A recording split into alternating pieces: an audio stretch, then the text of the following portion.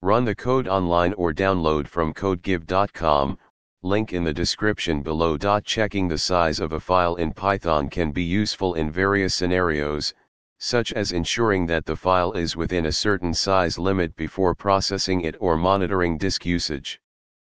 In this tutorial, we'll explore different methods to accomplish this task. Python's built-in os.path module provides a convenient function getSize, to obtain the size of a file in bytes. Another approach is to use the os.stat function, which provides detailed information about a file, including its size.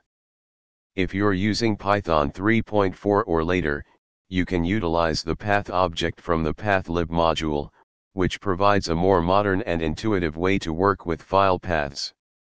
In this tutorial, we explored different methods to check the size of a file in Python. You can choose the method that best fits your coding style and requirements.